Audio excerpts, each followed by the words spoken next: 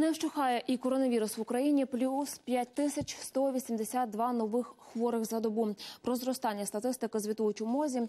Найбільша кількість інфікувань в Івано-Франківській, Закарпатській, Чернівецькій та Вінницькій областях.